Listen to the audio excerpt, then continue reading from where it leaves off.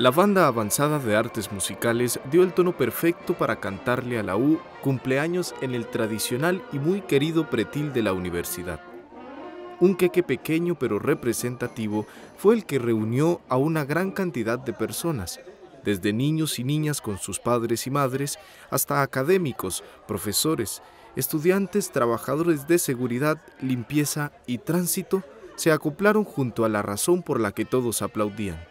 una universidad en pleno aniversario. Primero que todo, pues soy docente acá en la Escuela de Administración de Negocios, coordino los programas sociales, soy egresada de acá, estoy sacando una maestría acá en la UCR. Ahora mi sobrinito estudia eh, aquí en música, estimulación temprana, está llevando y claro que de somos UCR, full camiseta UCR y pues es una alegría en realidad estar compartiendo aquí y ver que puedo traer a mi sobrino, a mi mamá y venir aquí compartir pues con con, la comunidad universitaria.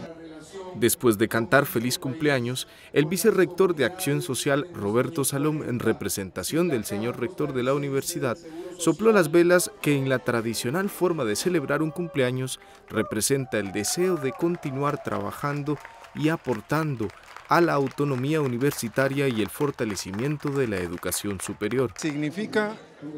creo yo, lo mejor de la tradición de solidaridad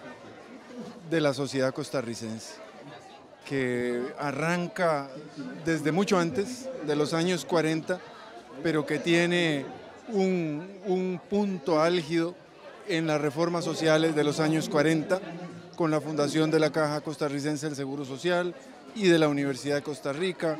eh, la promulgación de las garantías sociales y del Código del Trabajo.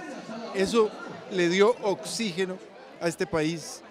este, y se lo seguirá dando por muchos años. Nada más pensemos qué sería de este país sin Universidad de Costa Rica. El deseo quedó plasmado con el aplauso final y la respectiva repartición del pastel que recordó no solo un cumpleaños más, sino una comunidad universitaria en fiesta.